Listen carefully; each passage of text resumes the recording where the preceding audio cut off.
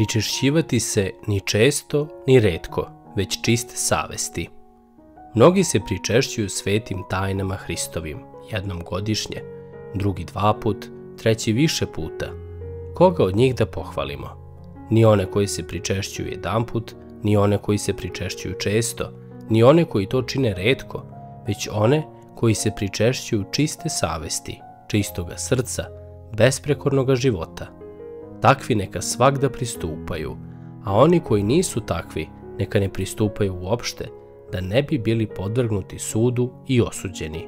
Jedeš sa trpeze duhovne, carske i posle toga svoje telo iznova prljaš prljavštinom, pomazuješ ga blagodatnim mirom i potom ga opet ispunjavaš smradom.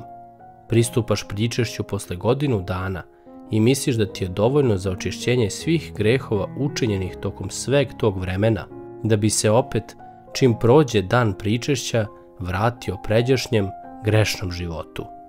Kada čoveku smrdi iz usta, on ne seda da jede za zajedničkom trpezom. Kako se onda kada ti duša toliko smrdi na greh, usuđuješ da pristupaš svetim tajnama? I kako ćeš dobiti oproštaj? Ko jede i pije čašu gospodnju nedostojno, sud sebi jede i pije i bit će podvrgnut istoj onoj kazni, kakvoj su podvrgnuti oni koji su raspeli Hrista. Kao što su negdašnje ubice bile krive za krv Hristovu, tako su krivi i oni koji se danas nedostojno pričešćuju svetim tajnama.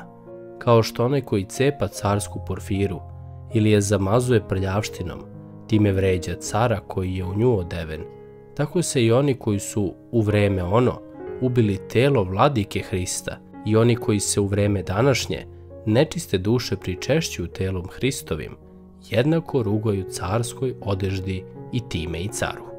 Judejci su razapeli telo Hristovo na krst, a onaj koga danas prima nečiste duše, oskrnjuje ga. Iako su prestupi različiti, vreda je ista. Pouke za svaki dan u godini Svetog Jovana Zlatoustog.